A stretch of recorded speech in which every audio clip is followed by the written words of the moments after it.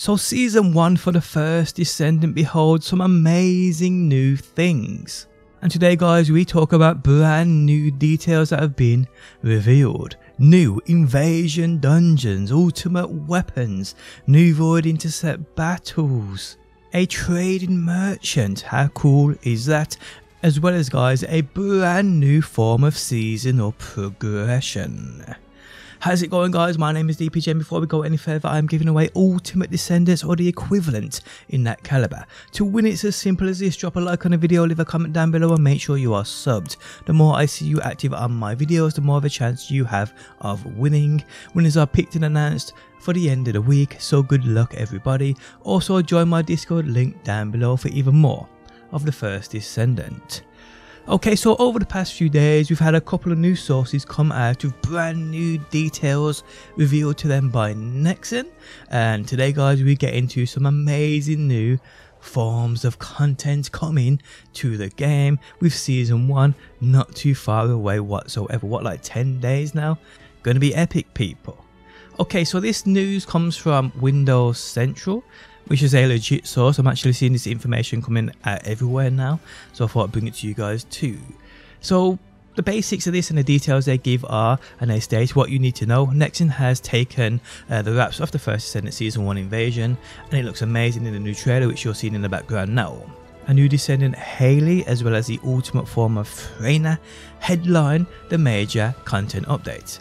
But there's lots more besides that. Season 1 will debut a new form of seasonal progression to help players make their descendants more powerful, as well as a unique storyline for Freyna, which we saw a little bit of in regards to the trailer, which is getting a little bit emotional, teary eyed. I think that's going to be pretty cool for you Freyna fans out there. They also state new invasion dungeons, more ultimate weapons, a new void intercept battle, and an upcoming trade agent, and so much more is also in store for season 1, this season 1 update of Invasion. Now they're going to even more details on these specific things, so let's check them out. Okay, so the season 1 Invasion Battle Pass, uh, the first Descendant will offer a brand new Battle Pass alongside a new fresh wave of challenges and rewards.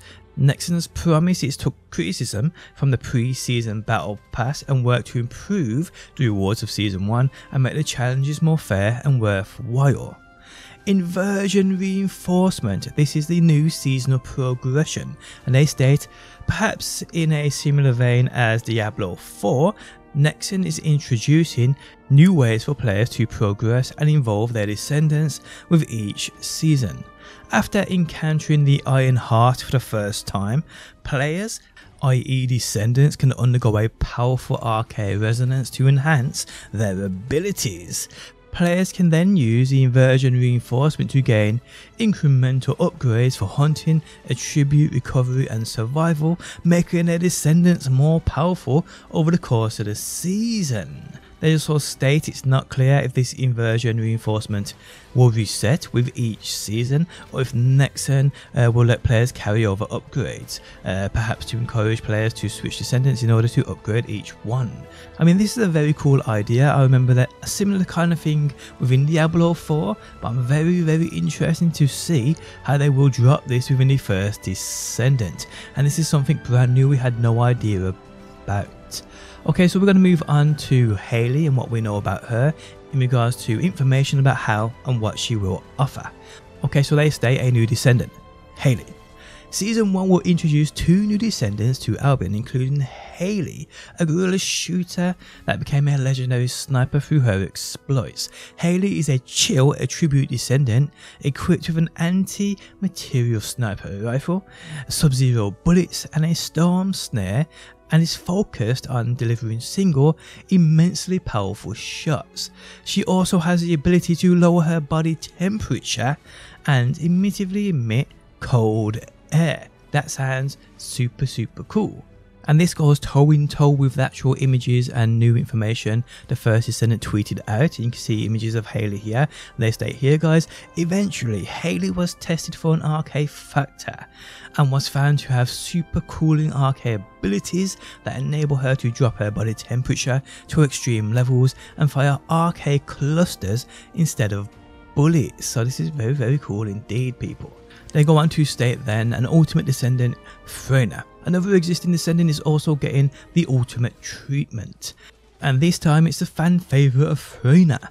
On top of obtaining the ultimate variant, players will also be able to play Freyna's new exclusive story questline exploring her past trauma, and this is part of Season 1's narrative content. Pretty cool. They then go on to talk about new invasion dungeons, a new way to play. Invasion dungeons will randomly replace two hard mode infiltration operations on a rotating schedule and present brand new and unique obstacles for players to overcome. Now they state this which is very very interesting. Uh, these are apparently solo missions uh, for some reason unless my press briefing was mistaken they state and are catered towards speedrunning enthusiasts. That is very very interesting. The faster you clear an invasion dungeon the greater the rewards you'll obtain. Invasion dungeons play differently than existing game content, with new mechanics and objectives. Another very cool inclusion guys I cannot wait to learn more about. Then going to talk about another Void Intercept boss battle. Okay, so another Colossi has appeared in the Void, replacing Gluttony as the most challenging boss in the entire game. Deathstalker specializes in hunting down descendants and is a toxic attribute monster that strikes from the shadows. There will be new mechanics here that players will have to unravel in order to have a shot at winning. So very very cool indeed guys and this again is what we saw within the season 1 trailer. We saw a little bit of footage of Freyna fighting this uh, new void boss so that's cool too. They then go on to talk about, guys, two more ultimate weapons. The first Descendant armor is increasing with the arrival of two new ultimate weapons, including Excava, I believe that's pronounced, and Frost Watcher, which sounds cool. Excava is a Season 1 Battle Pass Rewards ultimate weapon and is a modified assault rifle that crews charge as you fire it, eventually accumulating in a powerful energy grenade. Wow. Okay, so Frostwatcher is a new chill focused scout rifle that can be obtained by playing the Season 1 content and both reduces chill resistance of enemies and enhances the damage of chill attribute skills, making it perfect for Viessa and Hailey. Very cool indeed. And they also go on to state, guys, there's actually more coming this season as well. Nexon has already confirmed that, like with the preseason, Season 1 will enjoy mid-season content updates and additions. New features, quality of life improvements and fresh content are all expected. Uh, one thing we know will be arriving is a long way trade agent in Albion, which will hopefully give us a way to offload our extra valuable research materials.